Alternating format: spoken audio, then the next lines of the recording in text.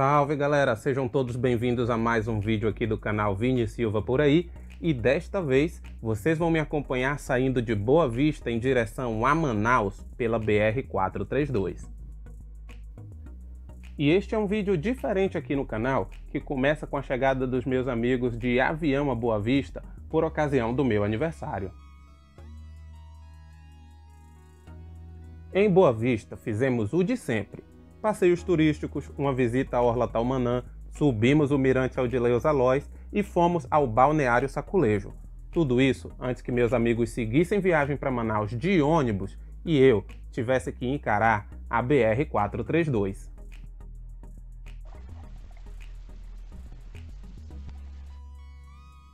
É nesta BR onde estão localizados o Igarapé Santa Cecília e o Balneário Saculejo, onde tomamos banho anteriormente.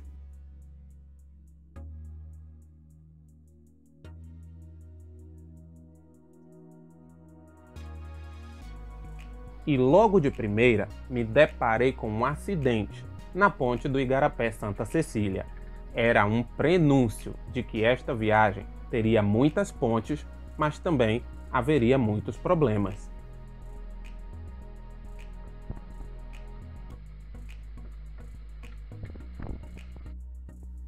Nesta BR tem pontes de todos os tipos, de madeira, de ferro, de concreto e até galerias e se vocês acompanharem aqui o canal, vai ter vídeo de perrengue sobre essas pontes, hein? Por isso, se inscreva e deixe o like aqui no vídeo. Mas se a qualidade das pontes na BR-432 é questionável, o mesmo não pode ser dito da estrada, que tinha acabado de ter a sua maior parte asfaltada e ainda me brindou com uma bela vista da Serra Grande, em Roraima. Estou aqui na 432, RR 432 e a estrada está praticamente deserta. Não sei se é porque é dia de semana, claro, ela é bem menos movimentada lá que a BR, mas uf, a estrada tá boa, né? Ainda não peguei nenhum trecho de barro, o trecho que era para ser de barro já estão asfaltando, então tá beleza. Algumas pontes, alguns trechos um pouquinho mais limitados, mas tá bom. E vamos seguir viagem, que Manaus ainda falta muito. Fiz uma pequena pausa num barzinho à beira de estrada para tomar uma água, mas eles só vendiam cachaça, então segui viagem.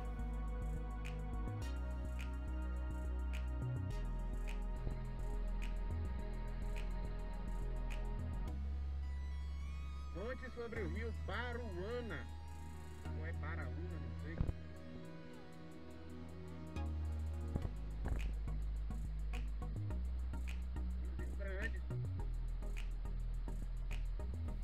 E apesar de a 432 ser uma rodovia federal, ainda hoje é comum que a chamem de RR por conta de ser originalmente uma rodovia estadual.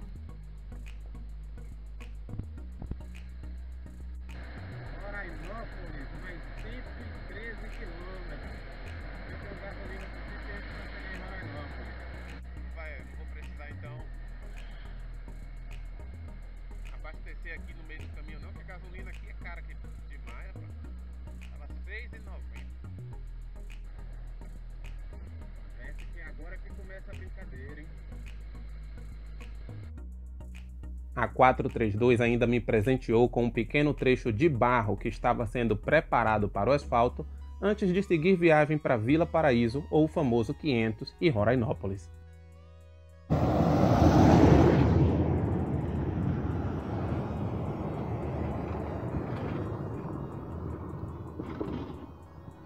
E vamos almoçar, né? Um franguinho ao molho. O engraçado de Roraima, em todo lugar eles te dão água da torneira. E a partir daqui, seguimos viagem pela já muito bem conhecida BR-174 e, claro, o seu trecho dentro da reserva indígena Waimiria Troari.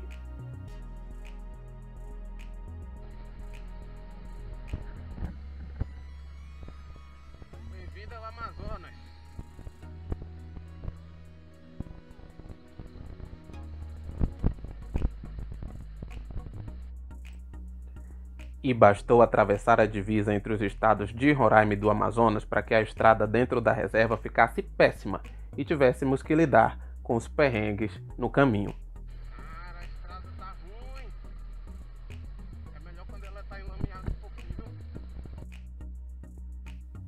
E apesar de o tráfego na 174 dentro da reserva indígena ser sofrível, principalmente do lado amazonense, é bastante comum o tráfego pesado de carga, e isso gera uma demanda constante de reparação na rodovia, que não consegue ser atendida, além, é claro, de aumentar o risco de acidente, como aconteceu com este carro que capotou na estrada.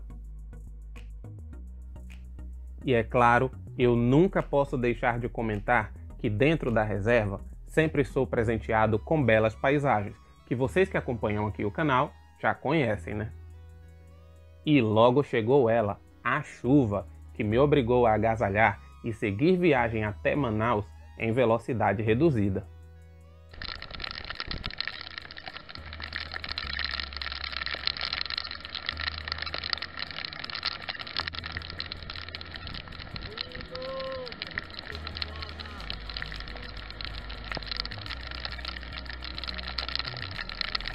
E apesar da chuva, chegamos bem em Manaus, prontos para um safari amazônico cheio de contato com a natureza e com comunidades indígenas. E isso vai estar aqui nos próximos vídeos aqui do canal. Por isso, deixe seu like, comente, compartilhe e se inscreva se não é inscrito. Obrigado!